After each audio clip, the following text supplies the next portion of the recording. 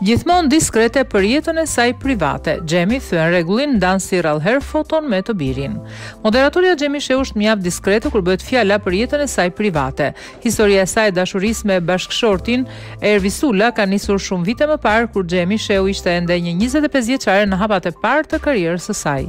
Por edhe pse bukuroshja është vazhdimisht është vazhdimisht në qendër të vëmendjes së mediave, bashkëshorti i saj ka mbetur një personazh misterioz që të cilin publikun, për të cilin publiku nuk di pothuajse asgjë.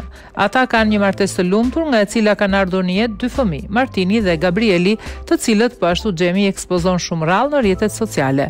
Megjithatë, së fundmi duket se ka bërë një përjashtim dhe ka postuar një foto të të djalit të saj në Instagram, i cili duket duket se është rritur shumë dhe është bërë shumë bukurosh. Ai është kopja perfekte e mamit të tij. Kjo foto është realizuar gjatë pushimeve të moderatores me familjen e saj.